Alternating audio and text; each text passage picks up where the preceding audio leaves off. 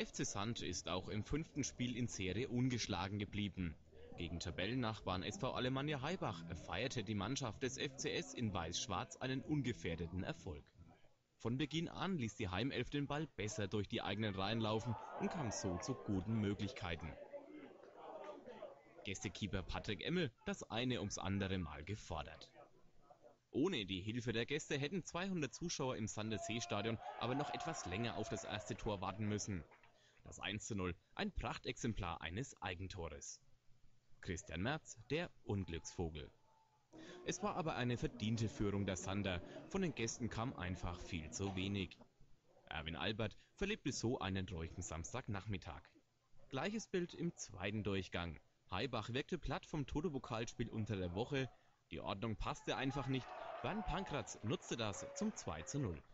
In der 60. Minute das Ganze, es war bereits die Vorentscheidung.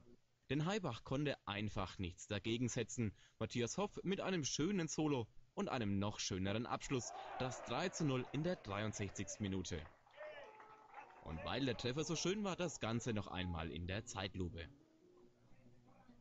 Dabei blieb es, der FC Sand feierte einen ungefährdeten 3-0 Erfolg über den SV Alemannia Haibach und tankt so viel Selbstvertrauen für das Derby gegen die Schnödel am Mittwoch.